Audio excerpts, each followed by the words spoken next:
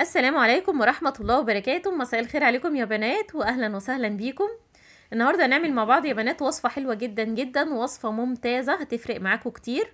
هتخليكي زي الشمعة المنورة هتخلي جسمك أبيض ناصع البياض بياض بحمارة زي ما بيقولوا. إيه وصفة ممتازة مكوناتها طبيعية. هتنزل كتل الإسمرار من جسمك. بصي هتبقى كتل كده وانتي بتفركيها. هتنزل كل خلايا الجلد الميتة هتفتح جسمك هتبقي زي الشمعة المنورة بالظبط. بس يا ريت قبل ما نبتدي الفيديو بتاعنا اللي لسه ما اشتركش عندي في القناة يا ريت يشترك. كمان يفعل زر الجرس علشان يوصلوا أشعار بكل وصفاتي. كمان نعمل لايك للفيديو لو الوصفة عجبتنا علشان كل بنوتة وكل عروسة تهتم بنضارة جسمها وتستفيد من الوصفة بتاعتنا. تعالوا مع بعض نشوف إيه هي مكوناتنا. مكونات على فكرة سهلة جدا موجودة عندك في المطبخ. هتقومي دلوقتي حالا وتجهزيها معايا. يلا بينا. حبايب قلبي هنستخدم ال baking powder. ال baking powder موجود عندنا أو كيس خميرة الحلويات زي ما بتسميها. baking powder أو خميرة حلويات. ومعانا كمان بيضة. هنستخدم بيضة واحدة. هنستخدمهم إزاي؟ أو إيه هي الطريقة اللي هنحط بيها الماسك ده على بشرتنا أو على جسمنا؟ ده اللي هنقوله دلوقتي. هنجيب بقى بولة علشان نجهز فيها الوصفة بتاعتنا. وهنكسر البيضة وهنستخدم الصفار بس. أنا عايزة الصفار مش عايزة البياض فأنا هفصل البياض عن الصفار. طبعا البياض اللي هيفضل معانا ده هنستخدم فيه مكون أو هنحط عليه مكون وهنستخدمه كماسك أو كوصفة في نهاية الفيديو. يعني بياض البيضة ده مش هنرميه بالعكس هنستخدمه في نهاية الفيديو بماسك تاني. أنا هستخدم بس صفار البيضة في الوصفة بتاعتي. هنسيب بقى كده البياض ده على جنب. هنحط الصفارة بتاعتنا في البولة. هنستخدم مع الصفار البيضة خل خل تفاح أو خل أبيض المتوفر عندك. مفيش أي مشكلة خالص النتيجة بتاعتهم واحدة. هنحط معلقة من خل التفاح أو معلقة من الخل الأبيض. أنا هستخدم خل التفاح لأن خل التفاح بجد حلو جدا للجلد وحلو للبشرة. خدت حوالي معلقة كبيرة وهبتدي إن أنا أفك البيضة. عايزاها تبقى زي المية بالظبط. هفضل أفك فيها كده شوية لحد ما أحس إن هي خلاص بقت زي المية بالظبط. مش عايزة فيها تكتلات خالص. تمام كده.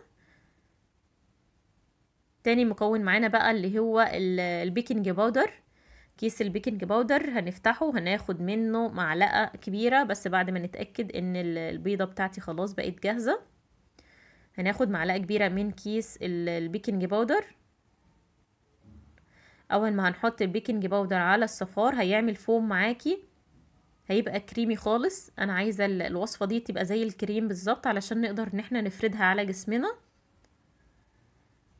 بجد الوصفة دي لو عملتيها على جسمك كله هتحسي بالفرق. هتلاقي جسمك كله أبيض. هتنزل كتل الإسمرار. بجد حاجة ما تتصدقش غير لما تجربيها. شايفين القوام بتاع الوصفة بتاعتي عامل إزاي؟ زي الكريمة بالظبط. طبعا أنا ضفت عليهم معلقة صغيرة من اللبن البودر بس معلش الكاميرا فصلت مني. هنضيف كده وإحنا بنقلب معلقة لبن بودر صغيرة. تمام؟ هنقلب بقى كده كويس. بعد ما ضفت اللبن البودر قلبت كويس. وبعد كده هنحط معلقة من القهوة أو معلقة من النسكافيه. هنجيب معلقة قهوة قهوة سادة مش محوجة أو معلقة نسكافيه. الاتنين نتيجتهم واحدة.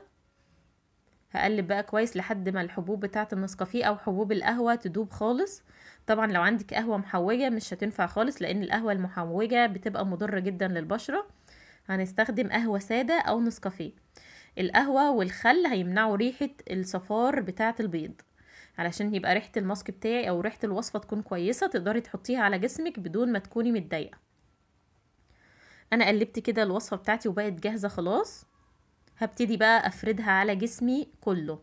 تفرديها على الجسم كاملا تحت الإبط تفرديها على إيدك تفرديها على وشك تفرديها على الكوع على الركبة على منطقة البكيني. حلوة جدا جدا هتبيض وهتنزل كتل الإسمرار. بصي هتلاقيها بتنزل كتل كده.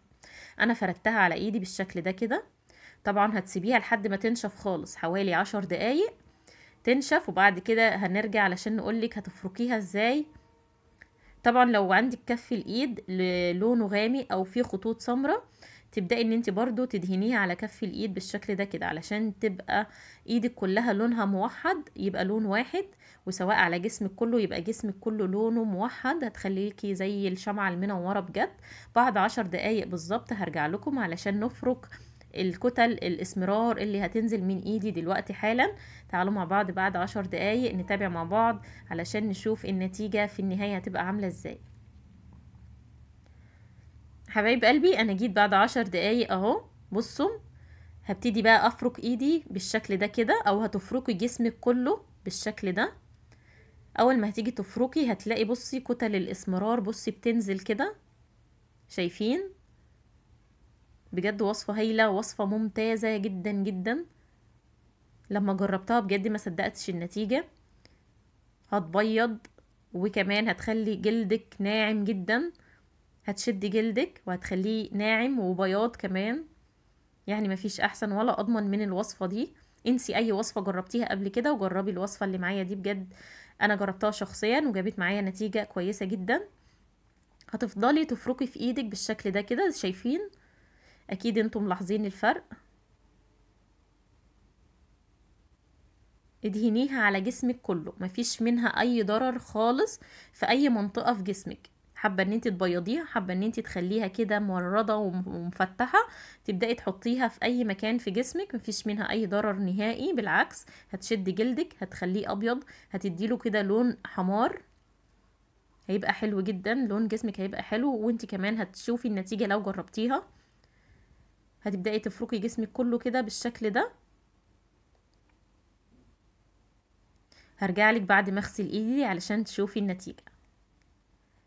بصي حبيبة قلبي ايدي ما شاء الله بصي أكيد انت شايفة الفرق. ايدي بيضة جدا جدا. أنا طبعا بشرتي كمان قمحويه شوية. يعني لو انت استخدمتيها باستمرار هتخلي إيدك بيضة. نزلت كتل الإسمرار زي ما انت شايفة كده.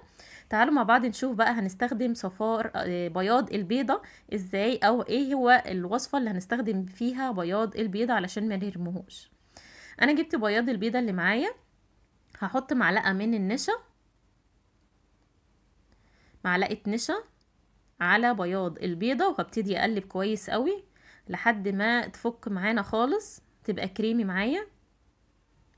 يبقى كده إحنا استخدمنا البيضة في وصفتين للبشرة. عملنا ماسك للجسم كامل وكمان عملنا وصفة حلوة جدا جدا لإزالة شعر الوجه أو فوق الشفايف. البياض البيضاء والنشا هتستخدميهم على وشك بس على بشرتك بس. اللي هو الشعر بتاع الوجه أو الشعر اللي فوق الشفايف.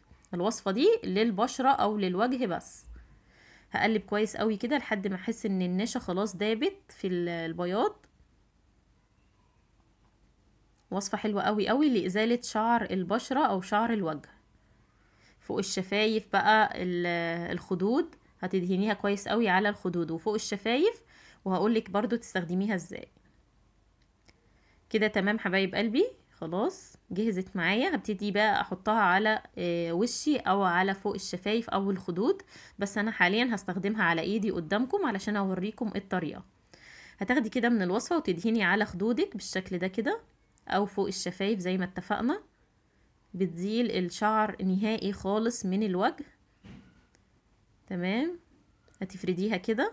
وبعد كده هتجيبي منديل منديل مطبخ أي منديل عندك. هتاخدي حتة من المنديل وتفرديها برضو على المكان اللي انت حطيتي فيه الوصفة. هتفرديها على خدك وبعد كده تحطي المنديل كده على الخد بالشكل ده كده وتستني لما تنشف.